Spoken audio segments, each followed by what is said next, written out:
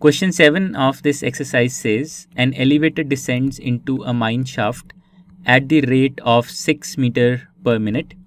If the descent starts from 10 meters above the ground level, how long will it take to reach minus 350 meters?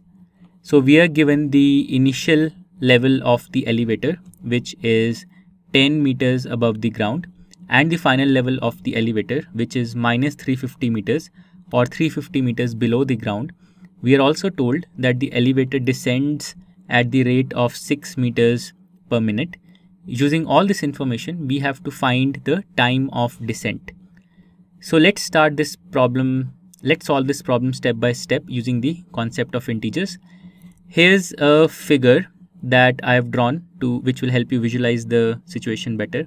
So this green thing that you see here, this is the elevator. This is initially 10 meters above the ground and it has to go all the way to 350 meters below ground and this level here is the ground level okay so this uh, this is how you can visualize the given situation now we as according to the problem statement what we will do is any distance above the ground we will represent it using a positive integer any position above the ground and any position below the ground using a negative integer.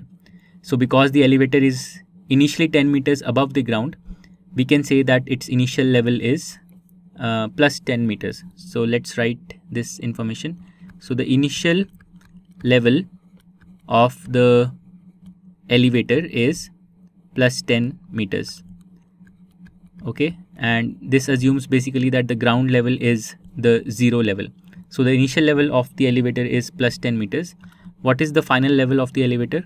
So the final level of the elevator is 350 meters below the ground which we can write as minus 350 meters. So what will be the change in level? So from these two numbers we can say that the change in the elevator's level from initial to final will be the final level which is minus 350 meters minus the initial level which is 10 meters. So we are subtracting from the final level minus 350 meters we are subtracting the initial level which is 10 meters. So this will be equal to minus 360 meters. So the change in level is minus 360 meters which basically means that the elevator is going 360 meters in the downward direction. Now, what is the rate of change? What is the rate at which the level changes?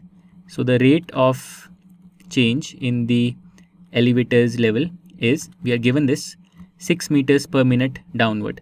So the rate of change, we can write this as minus 6 meters per minute because the elevator is going down.